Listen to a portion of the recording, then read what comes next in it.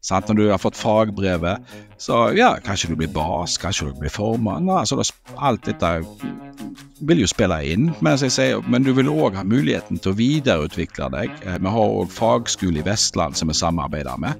Det er 10-20 personer som går fagskolen nå mens de jobber. Akademiet er der for den teoretiske delen. Der har vi egne instruktører. Så innimellom, ta de inn. Vi har nettopp hatt de der i tre-fire uker. De hadde lært seg om strukturisolering. Sant? Og så blir lærlingene plassert i prosjekt eh, etterpå. Eh, noen er nå på Sunrise, noen er på Castberg. Og når de er ferdig der, da skal de tilbake til fabrikken. For det er der de har liksom hovedbasen sin. Eh, og Der får de opplæring i lag med våre folk som er der tinnsmitt eller isolatører der inne eller oppmåling. De får prøve seg litt av alt.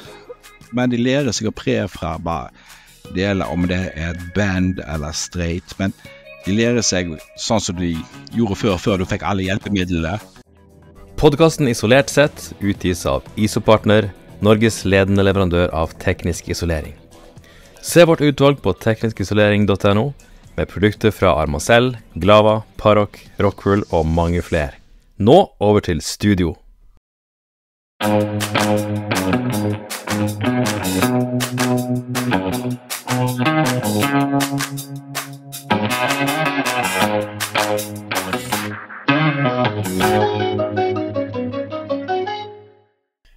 til Isolert sett, podkasten som setter teknisk isolering på agendaen fordi det er en av de viktigste brikkene i det grønne skiftet, og fordi denne underfundige, men fantastiske bransjen fortjener mer plass i det offentlige ordskiftet. Jeg heter Erlend Førsen, er markedssjef i Isoparten og stand-in for Camilla, som vanligvis er programleder. Med meg i studio i dag har jeg eh, våre to faste medankere, Trond Erik Johansen og Geri René Hilt. Begge to isolatør emeritus, som nå jobber henholdsvis som Key Account Manager og regionsansvarlig Vestlandet. Eh, når denne episoden her slippes, så er vi et par dager unna 17. mai. Så hva er planen for dagen, Gary, hvis du har planlagt så godt? da? Er det buekorps og nystemten og Jeg må si det som ekte bergenser, men jeg, jeg elsker buekort, men det gjør jeg faktisk ikke. jeg syns det er et jævla bråk. Jeg tror jeg er blitt for gammel.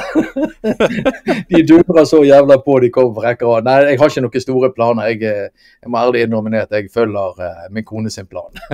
ja, det høres ut som en god løsning. Familiebesøk, litt is og litt sånne ting som følger med. Ja, ja. Og du da, Tom Erik. Går dere 17. mai-tog i Vennersborg, eller holder dere lav profil? Vi holder lav profil. Vi holder lav profil. Uh, det blir litt uh, is og pølser og stille og rolig. Ja. ja. Helt kort, hva slags forhold har dere til dagens tema, da, som handler om prefab? Prefabrikert mantling, brannkasser osv.? Ja, det har vel iallfall meg og Trond som er gamle isolatører, et, et nært og godt forhold til. Ja, og, og, Derfor syns vi dette var litt uh, interessant for oss å ta opp i dag, og, og da uh, med fokus på Aker sin uh, fabrikk på Stord. Så, ja. så, og vil høre litt mer om den. Den har ikke vi hørt ja. nok om, for å si det sånn, så den er vi veldig nysgjerrig på. Ja, for i dagens episode har vi med oss Thomas Heidenreich Riis fra Aker Solutions Stord. Eh, verftet er spesialisert på montering av store plattformdekk og moduler for landanlegg. Og blant de nyere prosjektene som dere kanskje har hørt om, er produksjonsskipet Johan Castberg. Og jeg har lest at når det er ferdig, så skal det sendes til Barentshavet, 200 km nord for Finnmarkskysten, der det skal produsere olje for Equinor i 30 år, faktisk. Men temaet i dag er Aker Solutions sin ISO-fabrikk, som du nevnte, Geri, som produserer prefab. Eh, og der har du en sentral rolle, Thomas. Velkommen til oss. Jo, takk skal du ha. Det var veldig kjekt at dere ville ta imot meg. Er du, uh, ja, du er fotballinteressert du òg, Thomas? Ja. Hvem du holder med, da? Uh, jeg holder med Nei, faktisk. Jeg holder med Vålerenga i Norge. Ja. ja. Uh, det er litt sånn Folk bare Hvorfor da? Nei, jeg var jo i militæret i Drøbak, og der var veldig mange fra Oslo. Så et, etter å ha vært med på én kamp der med klanen, ja. da var det da var det Vålerenga. Da var det gjort, da var det ja. gjort, ja. ja, da vet jeg, da, den stemninga husker vi var i 2011. Første kampen 2011 mot Viking hjemme på Viking stadion. Ja. Jeg tror vi var 1000 fra klanen. Ja. Og det var over 10 000 vikingsupportere. Og vi har lagd mer liv og lyd enn hele ja, Viking stadion. Ja, ja, ja. Og så vant vi 2-1, så da gjorde det enda bedre. det enda bedre, ja. Så du er med. Og hva engelsk lag holder du med da? Jeg kan gitte. Ja, gitt da. Riktig. Ja. Hva sier du, Trond? Nei, det er Ja, jeg tenker det. Det forsvant mye her nå. Det blir mye handling på toppen om dette skal bli bra. Skal vi bare lage en sånn sledd over trynet på han Liverpool-supporter? vet, vet du hvorfor jeg er Liverpool-supporter? Det er fordi de vant en kamp når du så på. Nei, nei, nei.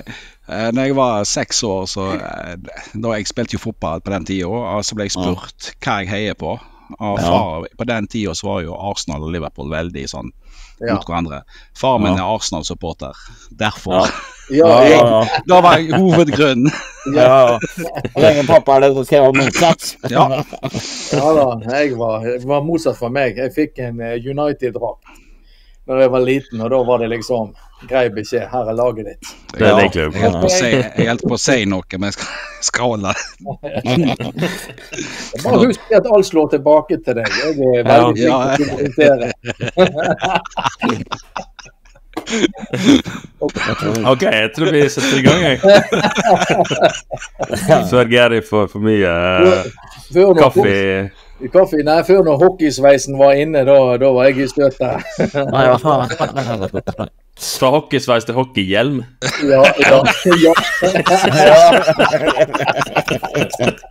ja nå er det sånn Netcom-dekning. Sånn delvis dekning. Ja. Okay, ja, bra. Da har vi, nå har vi stemningen. Ja, fint det. Ja. Nå må vi ta oss litt sammen. Eh, jeg sier det spesielt til deg, mm. Thomas. Jeg kjenner okay. de to andre. Jeg kjenner deg òg. Derfor sier jeg det til deg. Ser du ikke at de prøver å presse vekk klatteret? um. yes. Kjekt at du ville dukke opp her. Uh, på LinkedIn så leser jeg at du er Material and MTO Responsible Insulation. Kan du fortelle litt om uh, hva det betyr? Hva gjør du i jobben din? Uh, Thomas? Altså, MTO det er jo for material takeoff, altså utrekning av uh, mengder som vi trenger i prosjekter, eller uansett når det kommer til materiale, om det er små ting eller store ting. Uh, for material uh, så er det jo da jeg sitter som rådgiver inn, ofte inn i prosjekt, uh, og er involvert i både de store og de små prosjektene. Der jeg ofte får tilsendt spesifikasjonen og går, går gjennom den og så kommer med innspill hvis det er noe jeg ser at uh, dette kan vi kanskje bytte, eller vi kunne kanskje gjort det annerledes. Så gir jeg innspill inn om det er inn til uh, fabrikasjonsengineering, eller om det er inn til design. Sant? Men òg inn mot innkjøp, uh, med tanke på leverandører og produkt. kanskje nye produkt som må vi sjekke opp i. Så jeg sitter, jeg sitter, og følger med ganske. Jeg har et stort nettverk med leverandører. Da, der jeg, jeg, be, jeg, har alltid bedt om at eh, hvis det er nye ting som kommer på markedet som kan være interessant, så vil jeg gjerne se. se for da kan jeg, kanskje det kan hjelpe oss i andre prosjekt.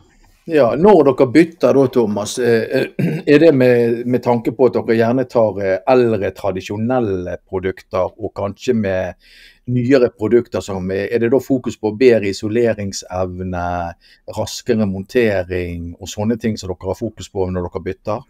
Ja, hvis vi bytter, altså Alt kommer jo an på hva prosjektet er og hvem som er kunden. Men hvis vi ser at vi kan spare tid på det, det kan være mer kostnadseffektivt, men òg at det gir bedre plass enn tradisjonell eh, isolering. For vi ser jo da ofte, du kommer ikke vekk ifra da, at uh, ofte ute på plattformer eller på landanlegg så kommer du i clash der ting kolliderer, og da må du ha et alternativ. Mm. Eh, og Hvis du kan redusere tjukkelsen f.eks.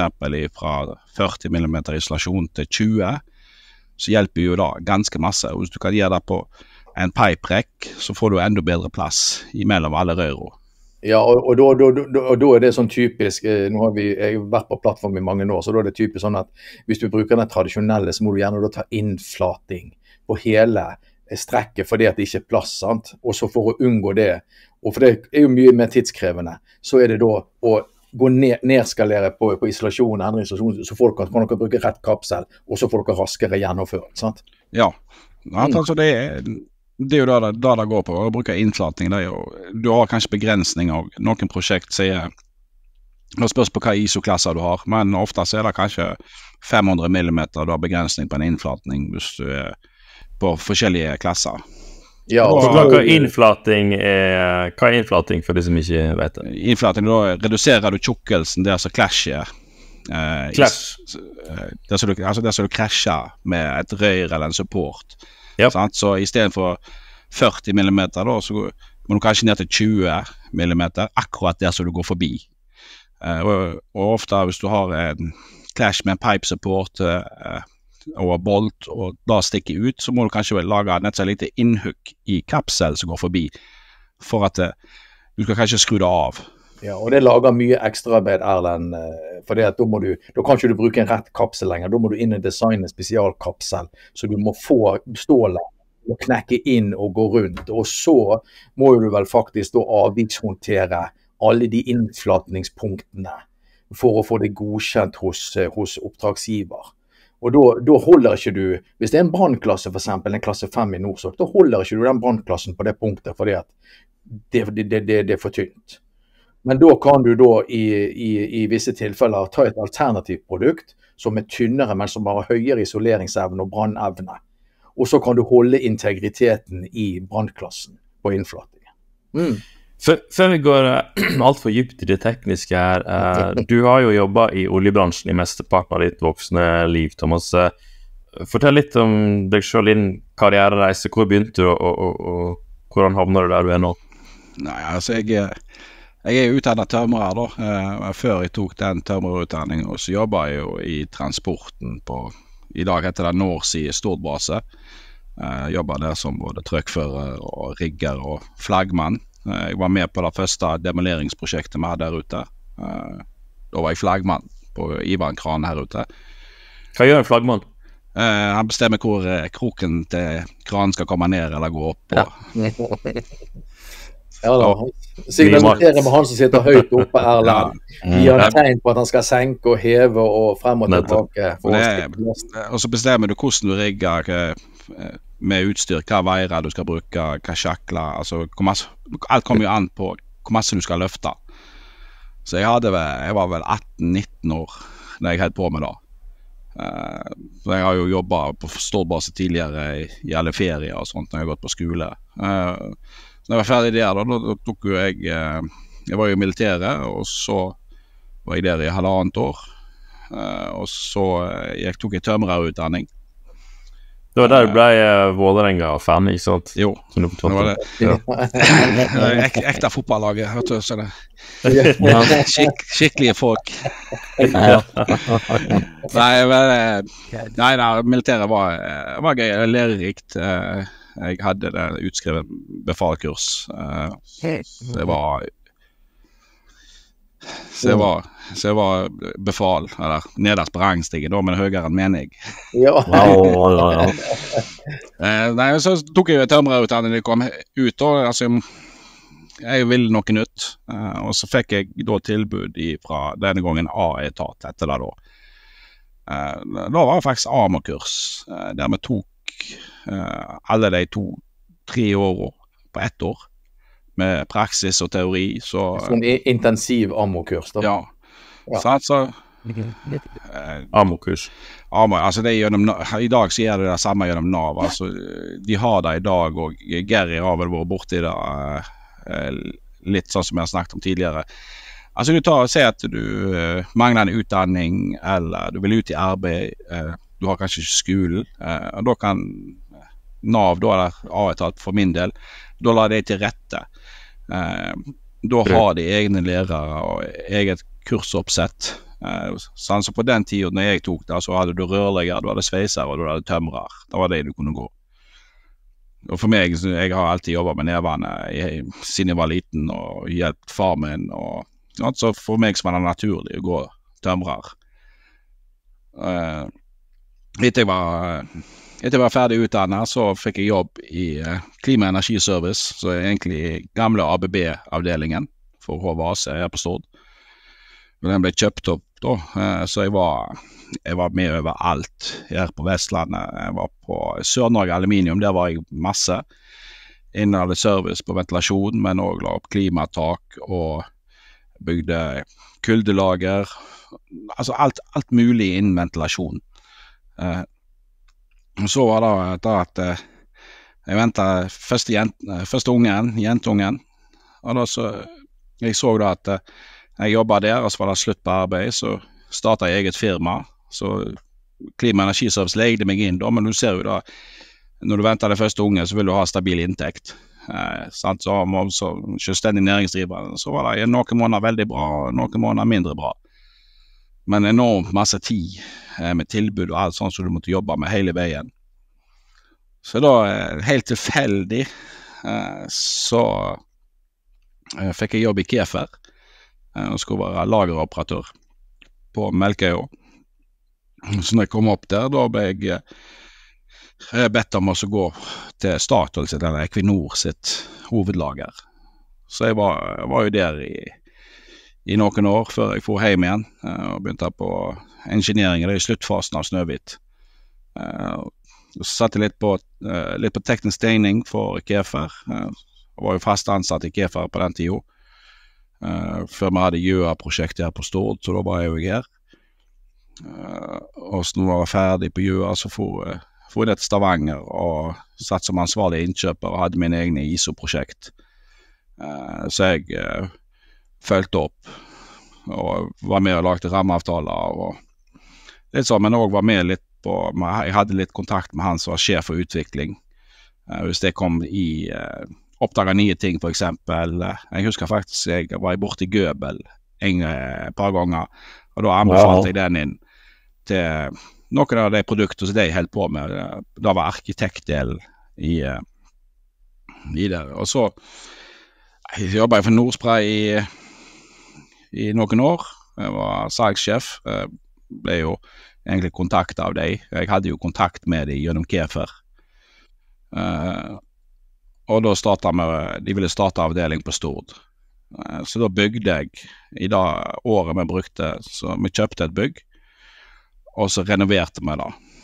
Så jeg leide inn to snekrere og elektrikere, alt det du trenger, men i tillegg så var jeg med og snekra. Eh, innimellom um, når jeg var enten på reise eller på kurs eh, og sånt. Og når jeg ikke var der, da var jeg på plass her på Stord og i kontakt med det som er lokalt. Ja. Da var du med å bygge opp den avdelingen i Nordspray? Ja.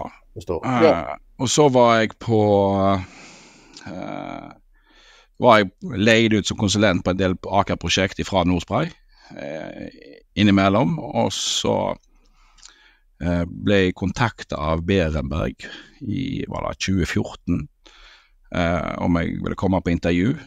Eh, så sa jeg ja, selvfølgelig. Så kom på intervju og var ferdig intervjuet og fikk spørsmål om jeg ville ha jobben eller ikke når jeg var ferdig intervjuet.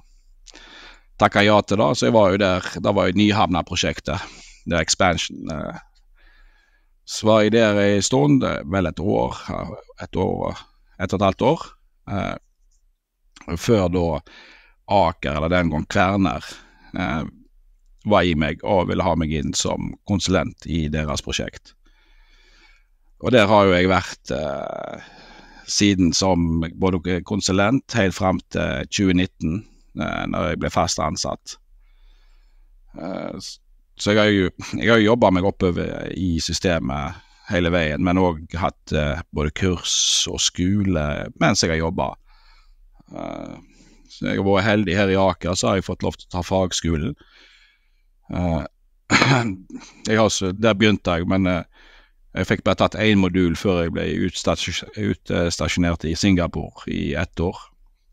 så planen er å gjøre, gjøre den ferdig, sånn at du du får den litt mer tyngde i, på bakgrunnen din. Hvordan var det å jobbe i Singapore, da? Ja, det var under covid, så det var, ja. nei, det var veldig fint. Uh, jeg var der ett år uh, uten å reise hjem. det var jo mitt valg, sånn sett. Men det det var, det var, veldig fint, men du måtte lære deg De har en helt annen mentalitet med hvordan de jobber der nede. Men folka Alle som jeg hadde med å gjøre der nede, var helt fantastiske. Om det var privat eller om det var på jobb, så var vi en god gjeng der nede. Så det var et godt samhold. Men så ble du jo kjent med folk der nede, så den dag i dag så har jeg gode, gode venner i Singapore som jeg snakker jevnlig med.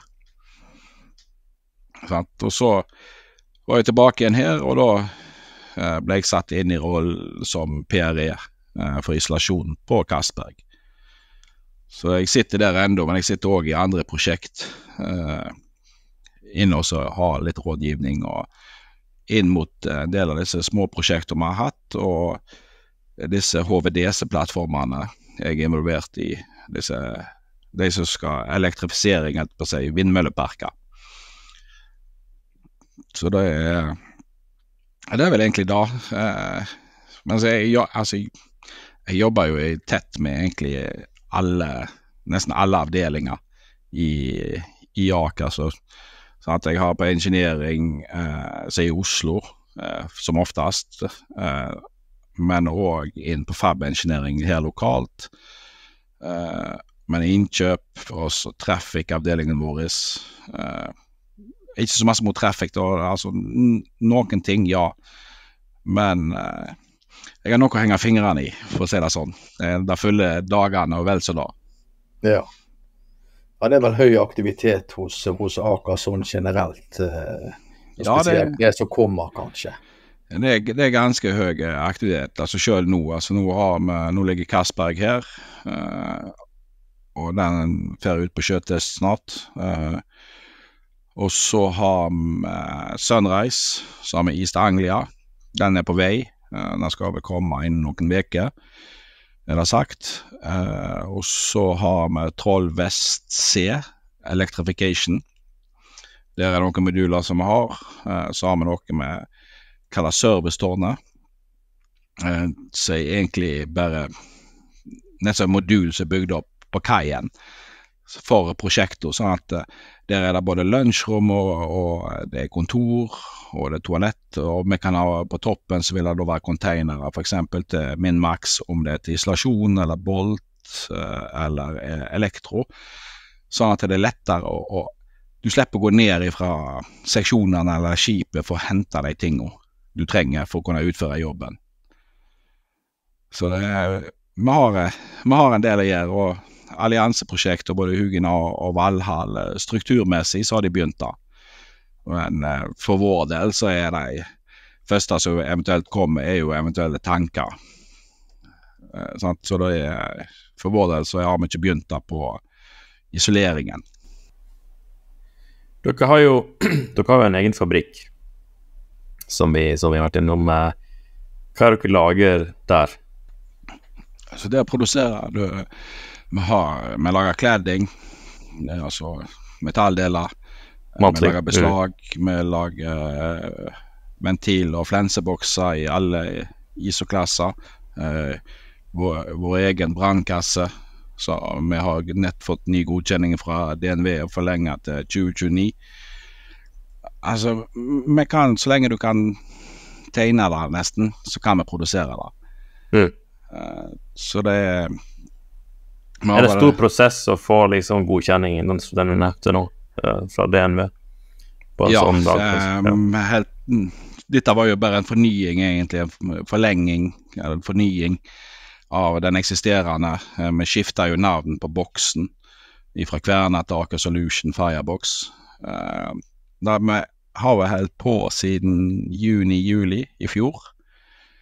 Så det har vært en del arbeid med den men det er litt sånn rykk og napp, alt etter hva DNV ønsker. Og, men vi måtte stille med all dokumentasjon og prosedyrer og hvordan vi jobber.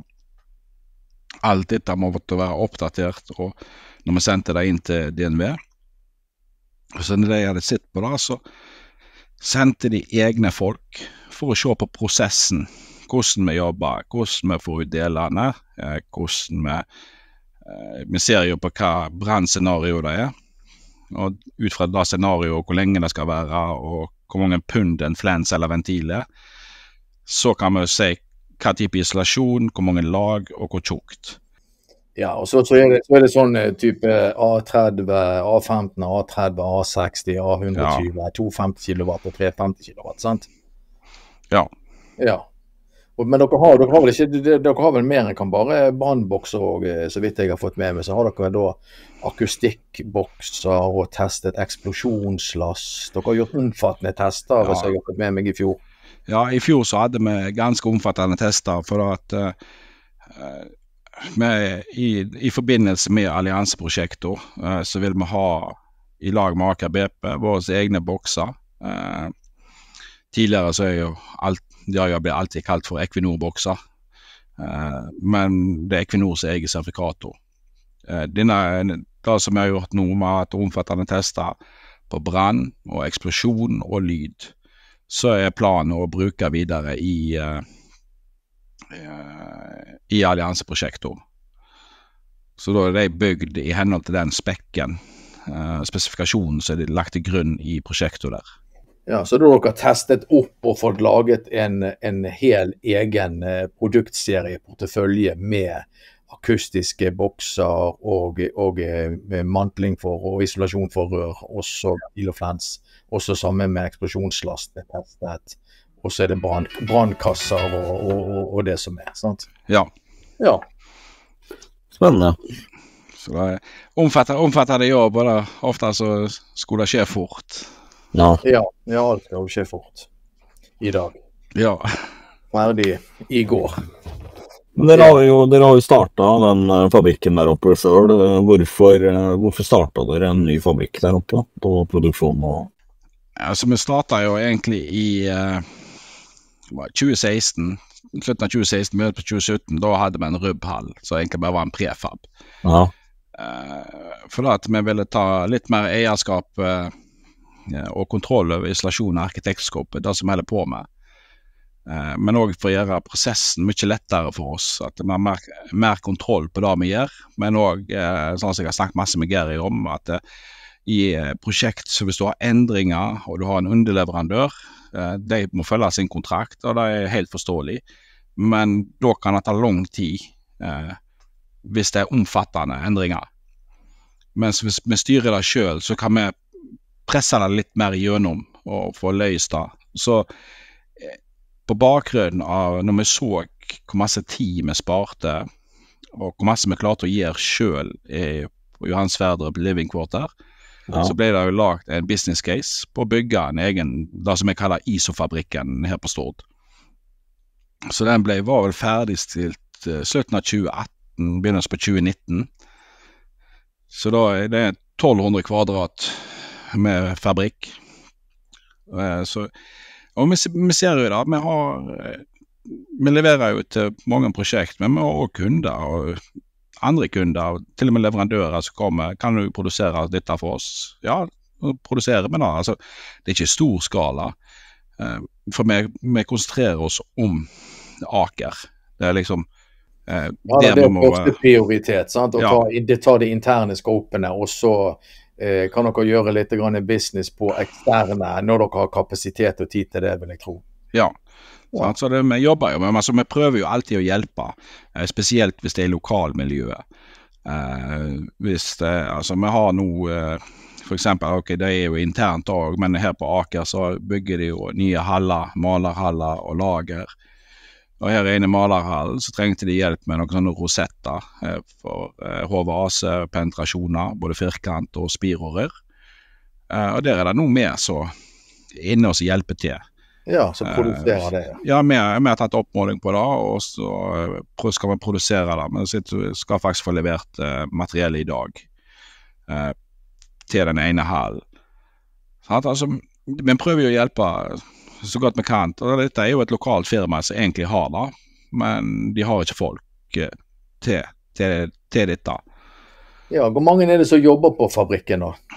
Ja, Vi har vel ja, ca. 45 stykk eh, til hver tid, så er i rotasjon. Ja. I eh, sånn to-tre rotasjon. Ja, det er, jo, eh, det er jo et bra antall på en prefab. Ja, så det er er det, andre, er det andre tjenester dere utfører uh, ut ifra ISO-fabrikken? Ja, vi har jo oppmåling, er jo en del av det som vi har. Uh, oppmåling til bokser, eller om det er beslag. Altså innover oppmåling og design, det er det vi som gjør.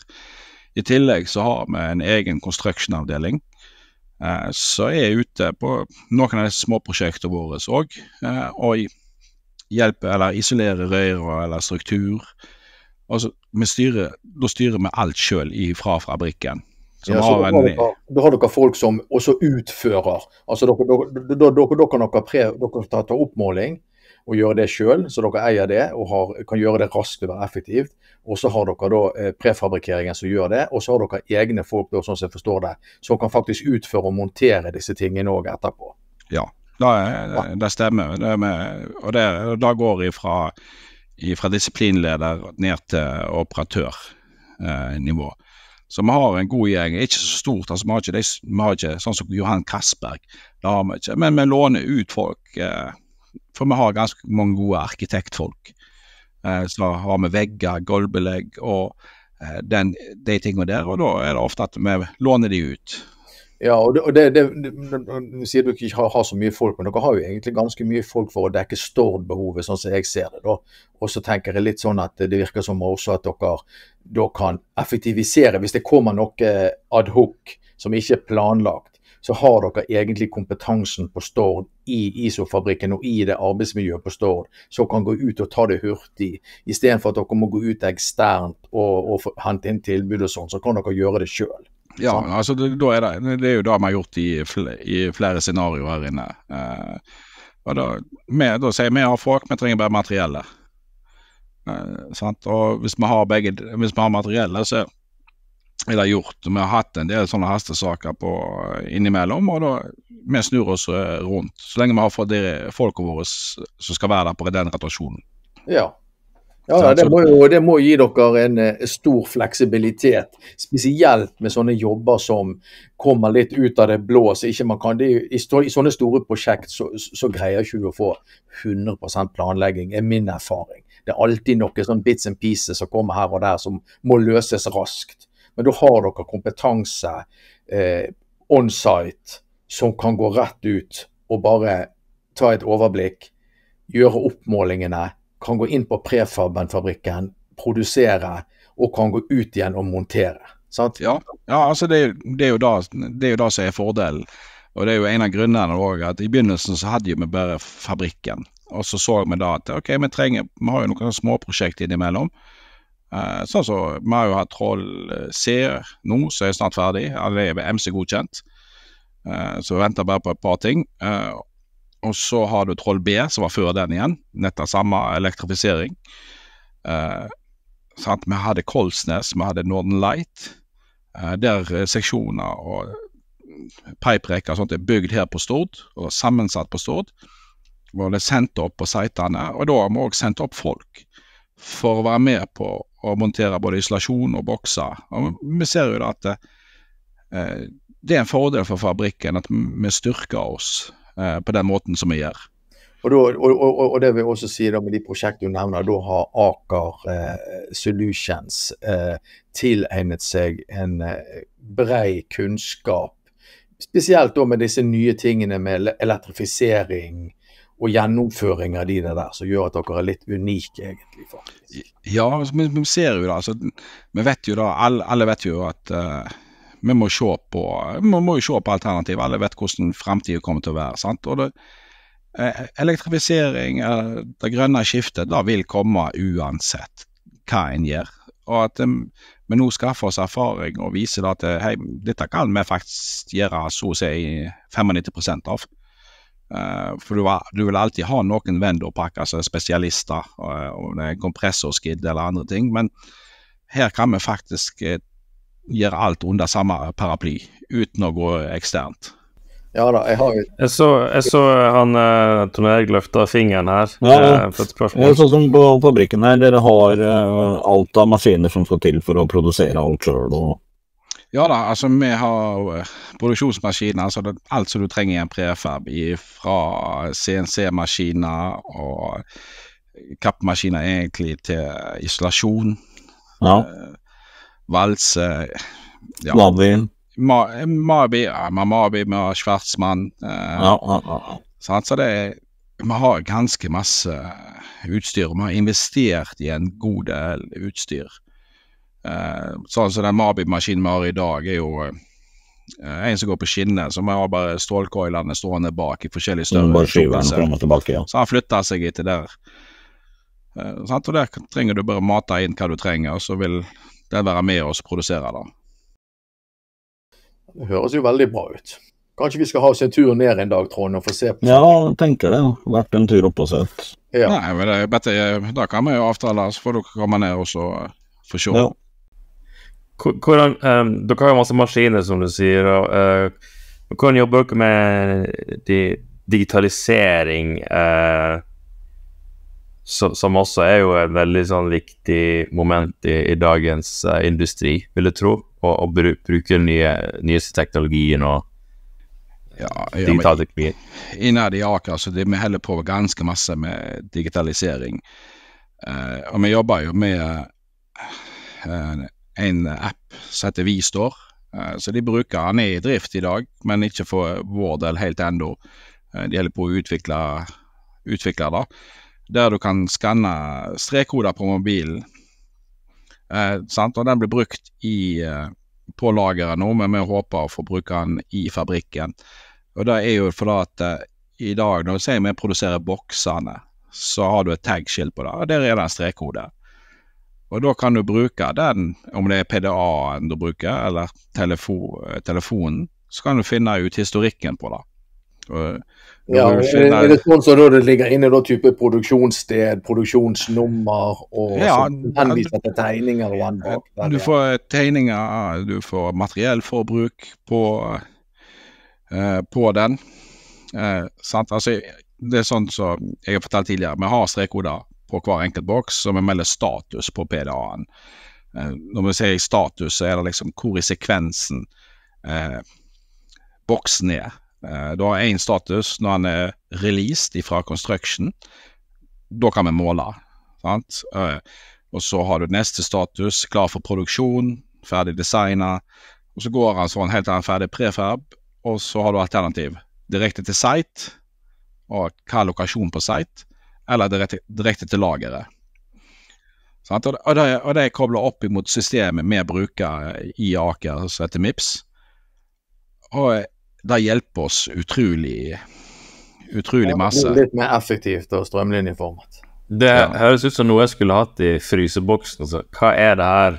Hva er datoen? Ja, ja, ja, det, det, er jo på det nivået der de har det, da. For mange. Ja. år er denne biffen her. Nei, men altså, du, du, ser jo enkelt. altså Når vi kutter i Mabi-maskinen, så blir jo hvert Her kommer ut ferdig kutta i flak, så er det bare til å løsne de små delene, nett som du si, bygger Lego eller sånne ting. Eh, og der er det merka med hva, hva tag-nummer eller hva item-nummer det er. Sånn, så du kan enkelt finne ut eh, Det sporer alt sammen. Hva det er. sant? Men, ja, men, vi, vi ville si da at eh, f.eks. Hvis, du, hvis du har en kasse ute som er, en del er blitt ødelagt på kassen, da, så kan du egentlig ta og skanne den taggen eh, på den delen, og så kan du egentlig bare sende inn, så, så vet maskinen egentlig akkurat hva del de skal lage. Ny. Ja, Da sender du bare informasjon til CNC-operatøren, så kan han gå rett inn på tegningen og si at eh, jeg skal kun denne. Mm. Ja. Denne delen. Ja da, det er jo så, altså, det er veldig effektivt. Men altså, vi ser jo da Du vet jo før, eh, Geri, så gikk jo oppmålerne ut med papirblokker og eh, lagde skisser også. Og så designer. Ja, ja, det er ikke jeg, så det Men det, Gjør det enklere. Ja, gjør det enklere for uh... Vi vil gjøre det, det mye enklere. Sant? Så, eh, våre oppmålere bruker jo i dag iPads eller tablets. Der vi har vårt eget uh, tegneprogram, uh, så de kan designe rett på site. Ja. Uh, hvis det er veldig avansert, så vil de da ta alle mål og bilder og alt sånt med på tableten i programmet og så vil de gå tilbake til kontoret eh, og designe da. For eksempel, du har jo nivåglass, for eksempel, Geri. De kan jo bli veldig avansert. De er komplekse. Og Det, er det som har, som er veldig greit, alle tegningene vi eh, lager og produserer, hvis de er veldig avanserte, så fargelegger vi de. Så når du får ut delene eh, i stålet, så får du òg med en tegning. Eller, da får du uansett, men du får med tegningen som har forskjellige fargekoder.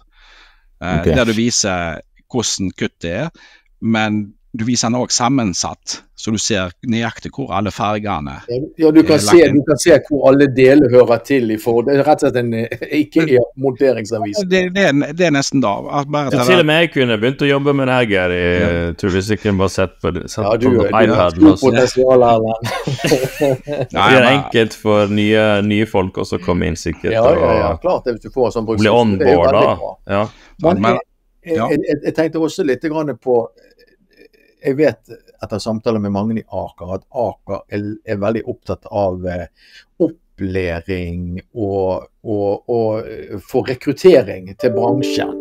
Jeg mener jeg at Aker har vært eh, ganske fremme eh, på den biten der. Og, så, og da tenker jeg litt på dette her Aker-akademiet som jeg har hørt om. Ja, altså det, vi har jo startet akademi for noen år siden, som er med å ta seg av lærlingene, men òg kurs, hvis vi vil holde et denne kurs. Eh, Men det som er det hovedsaken på, det er, det er for lærlingene. Eh, altså, I dag så har vi jeg tror det er fem eller seks lærlinger knytta til fabrikken. Eh, noen av de er vanlige lærlinger, som jeg kaller det. Noen av de er voksenlærlinger. Så litt annet løp på de, eh, men de får den samme oppfølgingen. Eh, så de som er voksenlærlinger, i prinsippet, og det som er sagt, eh, er at du er jo hjelpearbeider. Eh, at du har masse ansvar for egen læring. Men vi følger de opp på samme måte som vanlige lærlinger. Det er for at de skal få den tryggheten at de kan spørre og de får hjelp hvis de trenger det. Ja. Hvordan har, rekrutteringen vært mot uh, Aker-akademiet? Nei, altså vi ser, vi ser jo da, da er jo en av grunnene til at vi har så mange lærlinger. Og planen er jo at vi skal ha inn flere lærlinger hvert år. Ja. Uh, det, er da, det er da som planen, og det, det, er jo planen til Aker generelt òg. Uh, eh, vi har jo hatt skoler fra var det Bodø, for det var vel der installatørlinja var. Uh, og overflate. De har vært nede på besøk. Men vi har òg gått i lag med staten og videregående skole lokalt her. Så nå er starta opp både overflate og isolasjonsfaget som et valg på videregående her på yrkesskolen. Ok, det er jo veldig bra. Så, men det, altså, vi har jobba i noen år med det for å få det inn. Eh, jeg lurer på om det var i, eh, i år eller neste år da vil starte. Jeg er ikke 100 sikker der. Ja, så da får de en god teoretisk innføring i, i, i isolasjonstyper og, og, hvorfor vi bruker de forskjellige typene isolasjoner på de forskjellige stedene. Ja, altså. De da i mantling. Jeg ser her at uh, jeg har en liksom fyrskelapp her. Bygg- og anleggsteknikk. Og så er det klima, energi og miljøteknikk som ligger inne. Og så er det isolatørfaget i tredje og fjerde året. Ja, det, da er jo stegene du tar på skolen. sant? Og, ja. Eh, så det er grundig, en grundig innføring. Uh, i, eh, i eh, bygg- og anleggsteknikk og, og, klima- og energi- og miljøteknikk, som jeg mener er superviktig med tanke på det grønne skiftet. Ja. At, ja Altså det er jo da, så har du, altså da har vi jo akademiet, vi har egne folk som eier lærlingene. Det er ikke vår avdeling som eier lærlingene. Det så det blir ivaretatt til enhver tid, da? Det blir ivaretatt. sant? Akademiet er der for den teoretiske delen. Der har vi egne instruktører. Så innimellom, ta de inn. Vi har nettopp hatt de der i tre-fire uker. De de lært seg om strukturisolering. Og ah, ja. ting som kan dukke opp der. Eh, sant? Og så blir lærlingene plassert i prosjekt eh, etterpå. Eh, noen er nå på Sunrise. Noen er på Castberg. Og når de er ferdig der, har vært der eh, i noen uker, eller nå har de vært vel eh, fire uker utplassert. Det skal være åtte, tror jeg. Eh, da skal de tilbake til fabrikken, for det er der de har liksom hovedbasen sin. Eh, og Der får de opplæring i lag med våre folk som er der tinnsmitt eller isolatører der inne. Eller oppmåling. De får prøve seg litt av alt men de lærer seg å prefrabe deler, om det er et band eller straight. Men de lærer seg for det meste av eh, manuelle delen, sånn som de gjorde før, før du fikk alle hjelpemidlene. Du, du, du, må, du må slå det opp og ja, De må ha oppslag, eh, ja, lære seg ja. oppslag, lære seg hvordan de bruker passeren. Altså, ja, alt, den der mattedelen òg. Ja, for det er jo like viktig å ivareta faget den veien. Ja, det er det faktisk. Eh, og, og, geometrien som ligger bak eh, alle oppslagene. Og så får de da teorien, og så får de prefabrikkeringen. Og så får de gå ut i prosjekt og faktisk utføre eh, og montering og se de utfordringene som er. Så det er jo veldig bra. Det høres ut som det er grundig. Ja, altså de har mange avdelinger. sant? Altså Du har akademiet. sant? Det er én avdeling, og så har du de som eier lærlinger. Og så har du fabrikken, og så har du prosjektor. Sant? Så, men vi prøver alle å tilrettelegge for lærlingene og ta dem med ut. At de, de får prøve alt. altså vi vet alt, selv jeg som når jeg var tømrer, så var det jo ting jeg ikke likte å gjøre. Eh, det er jo Forskaling og støyping da var jo jeg, likte jeg ikke, sant? men sånn er det òg i installatørfag òg. Men det er jobber du må kunne å vite hvordan du skal utføre. Så de får... Hvordan rekru... ja, rekrutterer dere lærlingene? Altså er Vet du, du hadde voksen, voksenlærlinger, så du. Det er jo greit. Det er folk som kommer inn via Nav, f.eks. Ja. ja. Men de yngre, da? yngre, altså det, det prøver vi også Vi er med på disse eh, skolestandardene. Eh, når, når, den tida starter. Eh, sånn som så i fjor, jeg lurer på om jeg var på Jeg, jeg vet iallfall om to som jeg var på, for da var jeg med og, og hjelpe til for, for oppstarten og alt sånt. Og der, vi har lagt litt sånn forskjellige ting. Vi har f.eks. Eh, lagt eh, fisker til band søkt løst, eh, så er valsa, og så får de prøve seg å sette sammen det oh. når de er der. Eh, vi har lagt en, en mann i stål, en halv mann, med en iPad, så han holder en iPad, som viser litt forskjellig, så du kan faktisk trykke litt innpå og så se hva, hva vi gjør på. Ja. Og akkurat denne rekrutteringen er litt viktig òg, syns jeg, da, i bransjen. For jeg syns at vi faktisk har gått litt i feil retning eh, i mange år med at alt skal prefabbes, og så er det kun montører som er ute. At, at de kan ikke oppslag, og de kan ikke så jeg syns det er litt viktig faktisk det som, som Aker gjør på akademiet der, at de kjører de inn. Gir de teorien, de får kunnskap om produktene. For isolasjonen som, som gjør jobben. Og mantlingen det er en mekanisk beskyttelse. Sant? Og så at de faktisk får lage det og montere det og lære seg opp i geometrien, sånn at de kan ta oppmåling, de kan prefabrikere, de kan isolere og de kan montere. Og de skjønner sammenhengen mellom alle delene. Det tror jeg er utrolig viktig. Og så syns jeg også det at det er interessant å få ut til disse ungdommene våre fremtiden, de framtidige som skal være isolatører, at uh, bare Du kan gå i mange retninger òg det er ikke bare isolatør. Det, det kan du bli som basic, og så kan du da ja. bli bas, du kan bli former, du kan bli stor, Du kan bli instruktør, du kan bli ingeniør. Altså du kan, du kan bli du kan gå i mange retninger, eller de stillingene som vi har eh, i dag, f.eks. som sitter her. sånn. Så det, jeg synes det er veldig, det er litt sånn sak som jeg eh, brenner litt for, at, eh, at, de får inn ungdommene på dette. For det er et interessant fag. Ja, ja men det, det, er jo det vi jobber med, sant? og det er jo det vi prøver alltid å vise at eh, Jeg har jo tatt eksempel, så jeg ser på meg. Uh, jeg er egentlig tømrer. Mange installatører er som bakgrunn tømrer. Men jeg tok en annen retning. Jeg, jeg var jo i lager, og så havna jeg på engineering, og lærte meg teknisk tegning i, i program. Og satt med da. Og så var jeg logistikkansvarlig og lageransvarlig. Uh, så ble jeg ansvarlig innkjøper.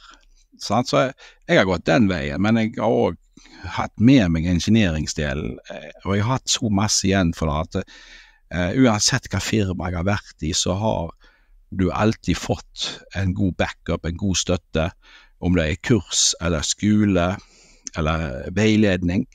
Sant? Altså, i, i, dag, altså Ingen vet alt. Dette er jo noe meg og Geri har snakket om veldig masse.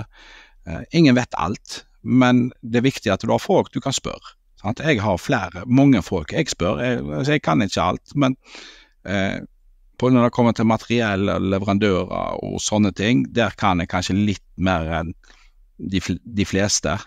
Men jeg, fremdeles i dag ja, altså det er mange ting jeg har lurt på, så jeg er litt usikker på. og Da spør jeg. Jeg har brukt Gary ofte.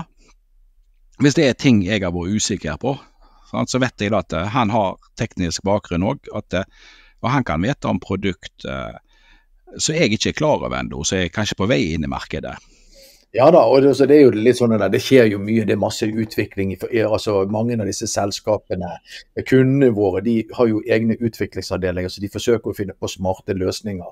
Så det er jo ikke, det er ikke bare de tradisjonelle produktene lenger. Det er masse som skjer eh, rundt omkring. Folk forsøker å effektivisere og få få all-in-one-løsninger, at du får med mantlingen eller non-metallic cladding-mantling og isolasjon i ett, sånn at du har raskere installasjonstid. Og, så det skjer ganske mye der ute. Mer enn kanskje folk tror, eh, som er på site og bare monterer. Det skjer masse i bakgrunnen. Det er veldig interessant eh, for oss iallfall. Spesielt kanskje for meg og Trond som er installatører og brenner litt for yrket. Ja, da. For du, ja, eksakt. Du brenner for yrket, og rekruttering til yrket generelt er jo, det er jo for dårlig. Ja, ja. Da, da, har det vært i mange år eh, på, mm. på installatør, men òg i overflate. Altså, vi, vi, ser jo da at uh, i mange år nå så har det kun vært én plass du kunne tatt en utdanning, og det var i Nord-Norge. Mm. Uh, jeg har snakket med guttungen min, han er nett første uh, på videregående. Mm. Og han sier jeg visste ingenting om det, det ser jeg helt på med. Det var, jeg, når han er på noen år Vanlige folk Thomas, som vi har snakket om før, hvis du snakker om isolasjon, så, så nevner jeg det, det der gule som er i veggen. Ja. Det, er liksom, det er all isolasjon som finnes i verden. Og det er kanskje den isolasjonen vi i vår bransje bruker minst. Ja, det er jo det. Og teknisk isolering er helt annet game enn kan, ja. en, en veggisolasjon i et hus. Ja. Det er brannklasser, og det er støyklasser, det er komboklasser, disse her. Det er personellbeskyttelse, det er kondensisolering. Sant? Nei, altså, jeg, han, det som han sa, var at uh, han hadde lyst til å gjøre det jeg gjør i dag. Uh, ja. da må man gå løypa. Da må man begynne et annet sted. det var det jeg sa til han. Men jeg, jeg sa til han at uh, jeg skal ikke presse deg til noen ting hva du skal gjøre. Du må velge det sjøl. Uh, så faktisk, han går elektro nå. Uh, ute på ja. Rubbestadneset på Bømlo. Det er jo en helt ny skole, så de har nett bygd opp på nytt, holdt på seg. Eh, og han stortrives. Og, eh, så, men han sier jo han vil jo fremdeles inn på Aker, eller eh, For jeg har jo fortalt han om mulighetene. Sant? Når du har fått fagbrevet, så ja, kanskje du blir bas, kanskje du blir formann. Altså, alt dette vil jo spille inn, men, sier, men du vil òg ha muligheten til å videreutvikle deg. Så, altså, vi har jo ikke bare akademiet, vi har òg fagskole i Vestland som vi samarbeider med. Der ja. nå er det ganske mange, jeg tror det er 10-20 personer som går fagskolen nå mens de jobber. Men det er vel kanskje litt grann, eh, jeg håper å si, naturlig at folk på Stord vil inn på Aker. For Aker er vel en hjørnesteinsbedrift på Stord.